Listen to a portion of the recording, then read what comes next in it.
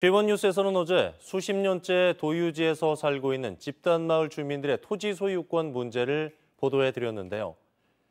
주민들은 그동안 재산권 행사 제약으로 어려움을 겪은 만큼 강원도에 도유지 매각을 요구하고 있지만 해법 마련은 쉽지 않아 보입니다. 집중 취재 홍서표 기자입니다.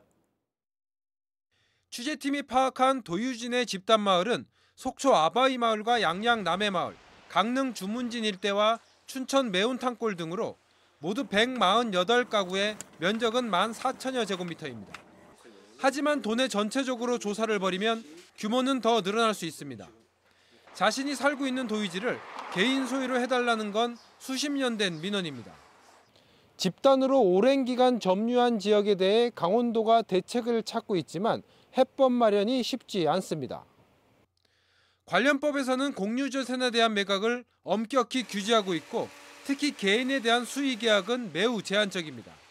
수의계약이 가능한 경우도 집단화된 마을이 점유한 면적이 동지역은 2,000제곱미터 이하, 읍면지역은 3,000제곱미터 이하로 규정하고 있습니다. 하지만 아바이 마을과 남해 마을만 봐도 각각 6,000제곱미터와 4,300제곱미터로 대상이 안 됩니다. 조례를 완화해 면적을 충족시킨다 해도 문제는 또 있습니다.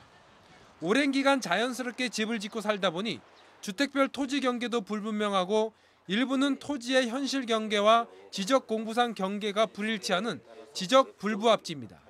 일부 지역 같은 경우에는 지금 지적 불부합지다 보니까 지적 제조사 사업이 선행이 돼서 어떤 경계가 확정이 돼야만 도유지에 대한 경계가 확정이 돼야 돼야만 저희가 이제 매각을 좀 검토할 수 있을 것 같습니다. 네. 주민들이 한 목소리를 낼 수 있을지도 걱정입니다. 특히 가구별 경제 여건이 모두 달라 매각한다고 해도 모두가 응할지도 미지수입니다.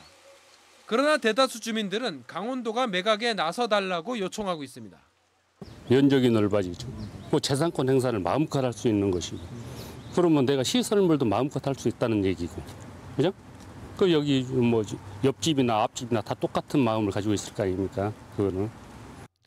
도유지 매각까지는 현행 규정과 주민 간 이해관계 등의 문제를 풀어야 하는 상황이어서 강원도의 고민도 커지고 있습니다. 지원 뉴스 홍서표입니다.